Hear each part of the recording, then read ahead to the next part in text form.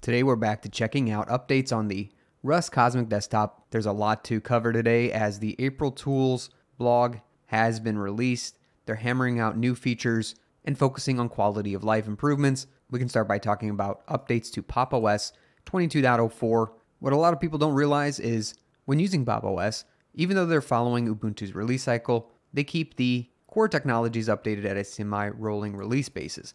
That means that they're updating the kernel more often so they can have better driver support, as said here, for such things as the Intel Xe and Intel Arc graphics drivers. But this helps them run newer hardware like their new Lemur Pro, which is running Pop! OS on the new line of Ultra series processors. As we can see here, the Lemur Pro has up to a 12 core Intel Ultra 5 or 7 CPU, 14 hours of battery life, up to 8 terabytes of NVMe storage, 56 gigabytes of, of DDR5 RAM, and a 1610 ratio 1200p matte display. Definitely check this out as it's a newer offering from System 76. Not only are they great at software, but they're fantastic at hardware. Anyways, moving on, they did see a significant performance boost on the 6.6 kernel and are testing out the 6.8 kernel. Now we're here for more updates on the Cosmic pre-alpha. So let's get into things as updates have been showing up across the desktop environment. One thing that's great is now you can move a window anywhere with the super key, and there's more notifications and sound alerts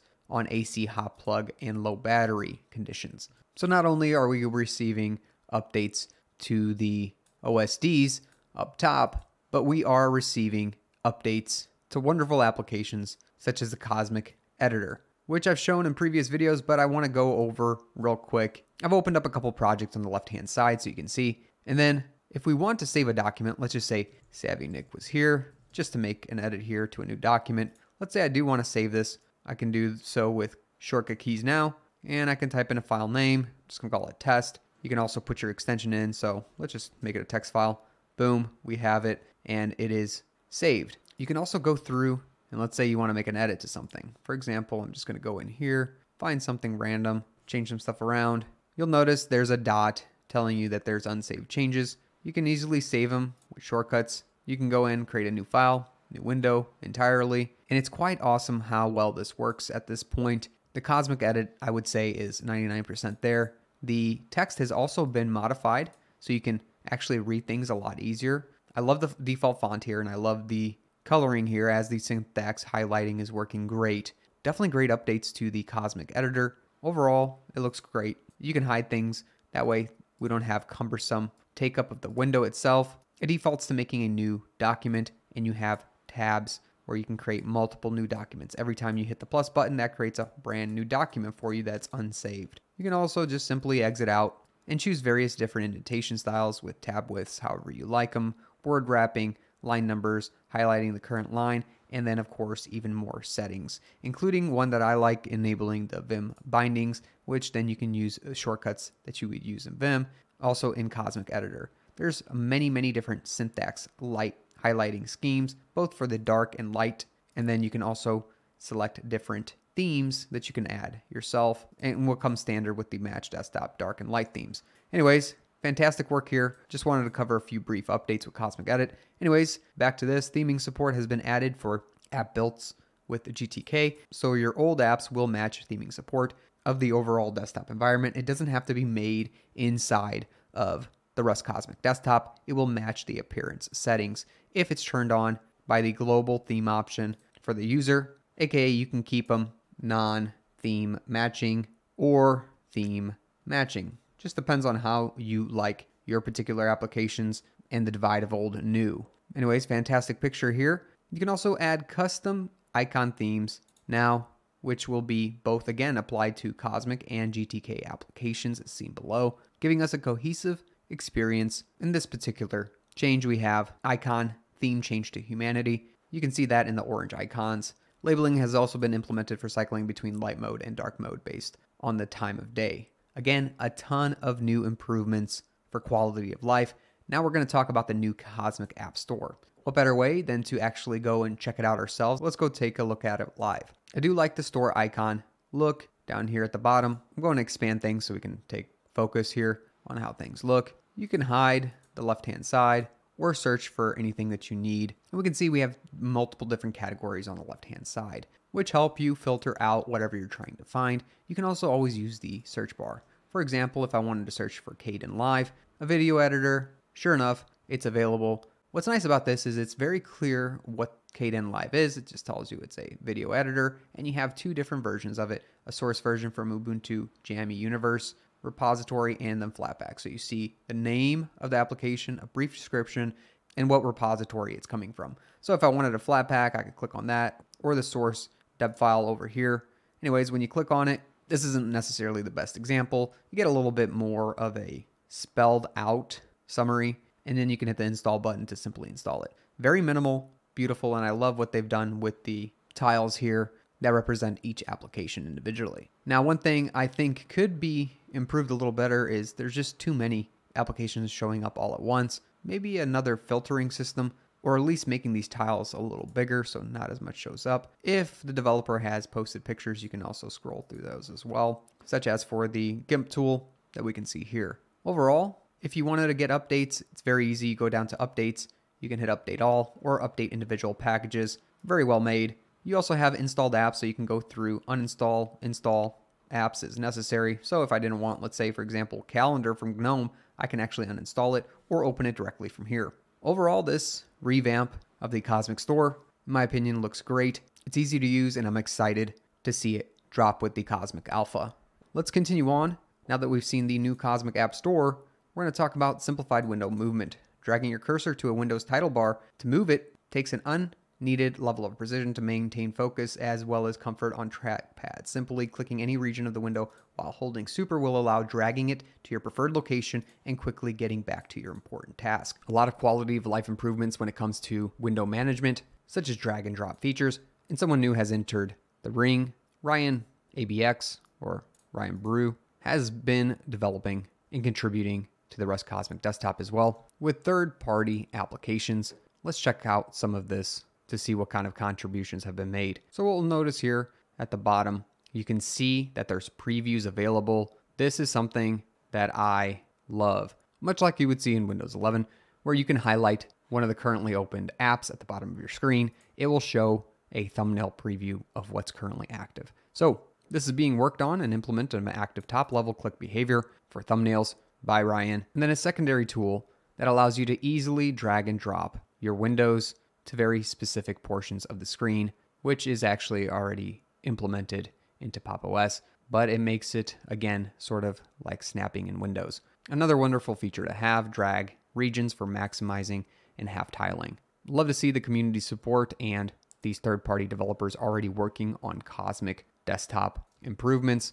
Now we're going to talk about Cosmic settings. The keyboard settings page has been implemented. This enables adding and reordering the session's keyboard input sources such as language specific layouts, regional layouts, or alternative layouts like Dvorak. Furthermore, inputting special characters such as characters is also supported via an alternate character key, example left alt plus C, or compose key, right alt then S. Keyboard shortcuts are currently in progress. We can see here that we can select between the various different input sources, special character entries, keyboard shortcuts, and more. This is fantastic for us who are using different sets of keyboards or need different language support. You can also change what needs to be clicked in order to get alternate characters. Think about all the common compose combinations for special characters. Here's a good list of them right here on the compose key wiki. This is what this portion of the blog is discussing. Not only do they want to make this a wonderful desktop to use, but they also want to make it usable by everyone. The system's device name is now editable in the About Settings page using a new editable text input widget in libcosmic. We can see here that you can make an edit by hitting the pencil and then changing the name. Meanwhile, the ability to reset dock and panel settings to default has also been added. Again, new OSD inputs including power state alerts, on-screen displays, and then additional on-screen displays for brightness, volume, and airplane mode. They're complete now. Cosmic apps, including edit, terminal, and files, have received updates and been fine-tuned. Let's go check those out on the live system. All right, exiting out of the store, here's files for us. It's been a little while since we've checked this out. We have things like new tab, new window, new file, new folder. Again, very common across the board with all the apps. Edit, again, similar operations here. Then we have the grid view, list view, settings, and about Cosmic Files. I personally like the list view, and I like how it looks here with the dividers in between all the various different files and folders that are available currently in my home folder. I can even click the pencil so I can additionally go to different portions of the system. For example, I'm going to hit desktop and now it takes me to the desktop. On the left hand side, I have different categories on my file system, including videos section, pictures, music, downloads, documents, all for the home users files and desktop. You can also go to the trash bin, which is currently emptied. Let's see if it changes icons if we actually move something into the trash can. There we go, moved in the trash can. And now it is full over here on the top. I haven't seen it changed on the left hand side, but things still seem to be a work in progress. It's pretty cool that the icons are changing as, as they are dynamically set. Moving on from here, I'm gonna take a brief look at the terminal. As you can tell here, we have tabs up top. Things look pretty great in my opinion. We can create new tabs pretty easily. We can also exit out. And personally, my favorite is when we're completely exited out, I do like how they hide the top tab bar or menu. This makes for a cleaner experience here when using the terminal on the Rust-based desktop. You also have options like creating a new tab, new window. Again, these are very similar across the board. Copy pasting, finding, and then extra view support with different color schemes and settings. Overall, things look great. Love the colors. They're subtle. We got green, blue, white. None of it overbearing. And at the top, it tells you where you're currently located. For example, just switched over to the desktop and now we see that we're in the desktop. You can easily create new tabs by just clicking up here on the top right. Again, you can exit out and clean things up real quick. Very good. They made great progress on the terminal. And if you've stuck around so far, make sure to smash that like button for me as we talk third party contributions. The Cosmic community has been kicking space themed Tuckus with their work. We talked about Ryan, who's been working on things like touchpad gestures, thumbnail previews, and a quick snap window. So here's a better picture of what I was showing earlier in the video. You can see that previews show up for the various different types of applications that you have opened up. For example, Firefox has three different windows opened on three different website pages, and it's very easy to see. Also, here when people are dragging and dropping windows, you can drag it to the side of the screen, you'll get a blue hint, and then you can release your mouse to actually snap to that portion of the screen. Here it is snapped. And then we are seeing also improvements through Cosmic Tasks, which Eduardo Flores is working on. It's looking great. Last time I did not get to build this for release, but I have in the meantime, and I gotta say it's working great. Super smooth, super easy to use.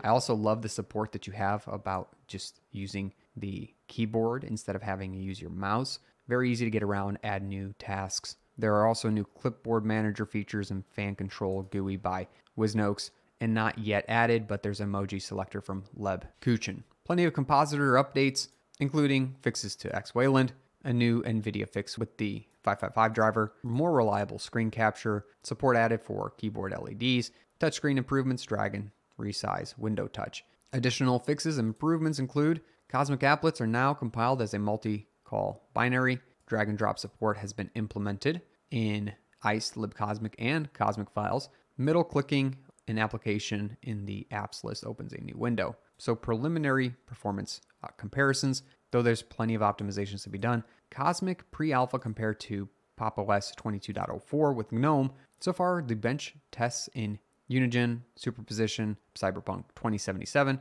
with both NVIDIA and AMD graphics are within 1% of FPS difference, which is amazing. There are going to be more updates made to this as there are more updates to be made and we're when we're still in a pre-alpha state. So what does that mean for us? Well, looking at the Cosmic Epoch 1, meaning the Alpha 1 release, we do have a few application bugs still left. There's also other desktop bugs to work out, about 34 of them. Alpha 1 features that need to be included before Alpha 1 can, can drop is about six. Things that are in progress are four.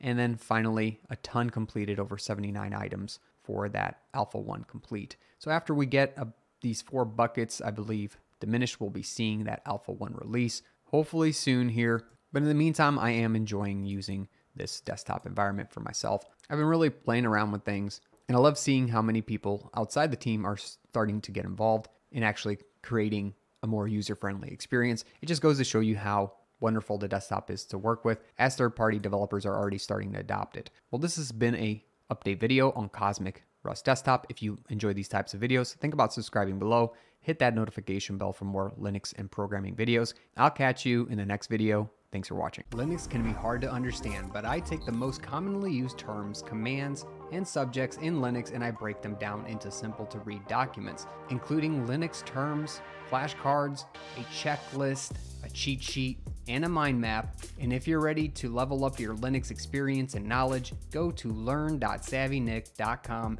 now and get access to these sheets.